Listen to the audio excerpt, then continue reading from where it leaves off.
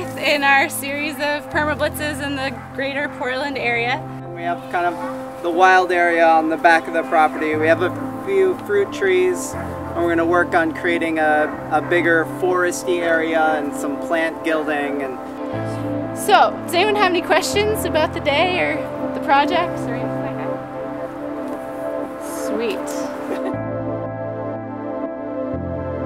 I think it's it's more than just growing plants. It's more than just providing local food. Permaculture really is that culture piece of things. It's those people coming together. It's creating communities.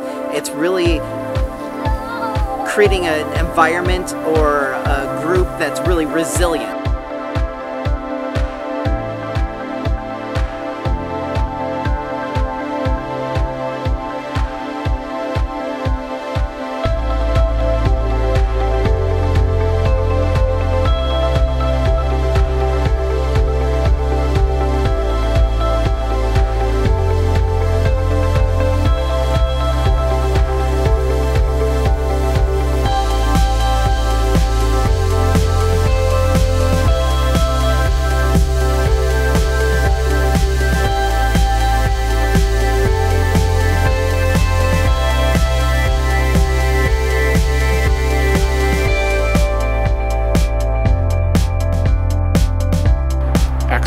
Too. I mean, I love coming to these things because you get to be intensely involved with people and then intensely involved with a very physical thing, and then to see very quickly a tremendous transformation.